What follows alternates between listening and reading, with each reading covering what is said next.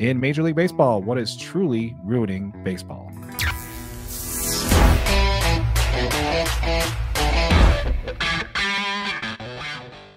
All right, let's go ahead and pivot over to the Major League Baseball, shall we? Absolutely. All right. It's my favorite It is your favorite. It's your favorite topic to talk about. I know why it's your favorite. because I just get to ask questions and drink whiskey. Yeah, that's pretty much what it That's is. exactly why it's my favorite. Appreciate it. Thanks for tuning in. Again, if you are currently not subscribed to the channel, please consider doing so. We are on a grind to 1,000 subscribers. Once we hit that, we are giving away $1,000 to five subscribers. Uh, not each one of them. Each one of them will split up $500. Seriously, what the f are you doing? How does this work? we are giving away $500 to five subscribers, $100 each. Well, first of all, it's been a snooze if so far in free agency over the last like Not much is Week. going on, man. literally nothing has happened since. I mean, Stroman signed, which we'll get into a little- in a little bit, but pretty much nothing has happened since we last talked last week. Well, I mean, one of the big keys, what we talked about last week was Blake Snell's one of these guys, right? Yes. Blake Snell's one of these Blake smells guys that we're like, how is he not signed anywhere? Blake smells. Blake Smell. Blake Snell is one of these guys that we're just wondering, how is he not signed anywhere yet? Hmm. Well, we figured it out. Yes, we did. Blake Snell is currently asking for a nine year, $270 million contract. My question for you Does Scott Boras make it happen? No, definitely not. No, he doesn't get that. Now, does he still get 200 million? Maybe. So, so is he worth? I mean, because obviously Blake Snell's not the youngest guy on the market, right? He's 31 years old. It's not that he's not serviceable for a pitcher. He's probably technically in his prime, but on a nine-year contract, you're into your damn near your 40s. He is 40 at that point. Yeah. Nine years. Nine So- years, that's 40. Is the risk worth the reward on Blake Snell for a nine-year contract? He is 31. You're going to be paying this guy when he's 40. He is not the Rocket. He's not Roger Clemens. He's not Curt Schilling. He's not Tom Glavine. Smoltz, even. You know, Mhm. these players pitch well into their 40s, but because they're built for it, this guy is not built for it. So uh, it's just a huge risk to take a nine. And I think that's why he's probably looking for a nine-year contract, right? Did you hear what the Yankees offered him? I didn't. Yeah, so according to the Dominican MLB insider Mike Rodriguez, the Yankees offered Snell a five-year, $150 million contract. So that nine years, 270 million. That's a high A. 30 million a year. 30 million a year. He has won a Cy Young, right? Yeah, he won it last year. Okay. He actually has two. He won it in 2018 as well. Okay. So he's a two-time uh, Cy Young Award winner. However, the funny thing is, is he's doing it out a very untraditional way.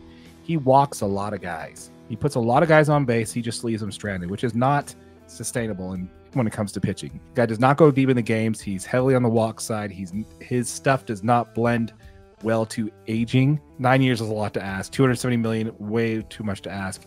Okay, so now we're into the reason for this whole video. Um, thanks for watching this far. We appreciate it. The average MLB franchise is currently worth two point zero seven billion dollars. There's Mhm. not there's not a Major League Baseball franchise that is hurting. Why are there franchises that won't spend money to make their teams actually better? That's a great question. And let me start with a tweet by uh, Craig Goldstein. So, starting in 2022, every MLB team will be given guaranteed $60 million. Local TV deal, like the regional sport networks, is going to be anywhere from 40 million plus. So, every team at the beginning of the season will get $100 million plus guaranteed before selling a single ticket. That's basically the bottom line. These people don't love baseball. They aren't trying to build a winner. They're trying to make money. They've made money in business. They want the prestige of owning a professional sports team. And in baseball, you're given $100 million right off the gate every single season. Okay, because that's my next question. Who is the cheapest or most penny pinching owners, teams? Oh, we'll in definitely baseball. we'll definitely get into that.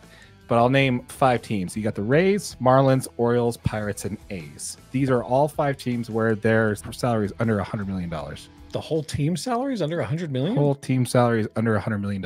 even though they get the hundred million dollar check. Again, before they sell a ticket, before they pay for parking, before he buys a hot dog, those teams are making tens of millions of dollars. Let me talk about two teams that actually did a great job in that the Rays and the Orioles. The Orioles won 100 games last year. That's fantastic. They won the division. The Rays Yeah. are a perennial playoff contender. They are always, they were in the World Series in 2020. Yeah, absolutely. So you can be a penny pitcher in Major League Baseball and still win. However, it's not conducive to winning in playoff baseball. But uh, that team, guess which one's the lowest? I'm going to say the A's. You'd be spot on, sir. Would you want to take a guess at what their payroll is? I'm going to say it's probably roughly around 80 million. $47 million. 47 million. 47 million. The Dodgers are going to play one guy that. Actually, no, they're only paying him two million. Oh, good point. Little salary deferral. All you salty people in the comments, I can hear it already. Just ruining baseball. But this is truly what, in my opinion, is what really is ruining baseball. You have cheap owners that won't spend money. Who are these players supposed to go to? You know, the CBA would work if it wasn't for greedy owners. None of these teams will pay for their young talent that are coming up. Typically, what will happen is they'll trade them before they get into arbitration. Yeah. Arbitration is where you can negotiate for a fair market based off your performance. These teams trade those assets away before they even reach it. This is just the bottom five teams on payroll. There Right. are there are ten teams that are below the average on this. When you got five to nine teams who simply just won't pay their players, where are these players supposed to go when they're actually wanting to get their fair market value? They're going to go to the Dodgers. They're going to go to the Yankees. They're going to go to the. They're going to go anywhere. They're going to go anywhere who's going to pay them. Absolutely. So forgive me, it's not the Dodgers, it's not the Yankees, it's not the Padres, it's not the Mets that are ruining baseball.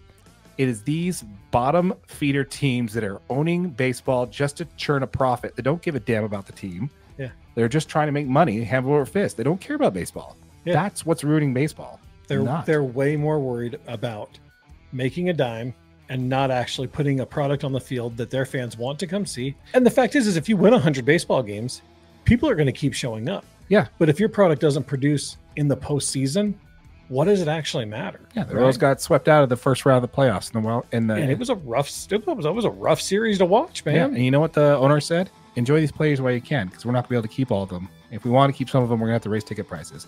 That is almost a direct quote from the owner of the Orioles.